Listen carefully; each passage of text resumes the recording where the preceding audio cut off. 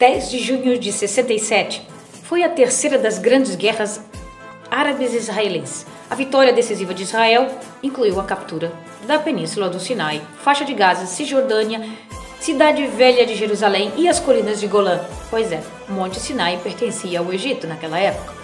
Ontem foi comemorado o Dia das Forças Armadas, mas transferiu-se esse feriado para hoje. Então, hoje comemora-se o Dia das Forças Armadas, um feriado nacional todo 6 de outubro é comemorado, porque em 6 de outubro de 1973, as forças militares egípcias e sírias juntas lançaram um ataque surpresa então contra Israel, cruzando a península do Sinai e tomando Sinai de volta. Isso marcou então o início de outubro, ou o Yom Kippur. Yom Kippur significa o dia do perdão.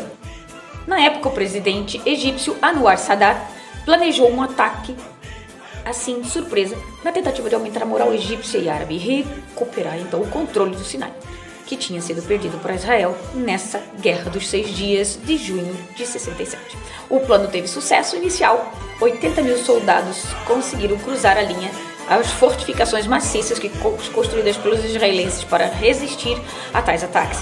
Mas as forças egípcias mantiveram-se no território durante dois dias e isso levou a forçar um acordo né, entre os dois países, ao qual foi mediado pelo presidente Jimmy Carter dos Estados Unidos.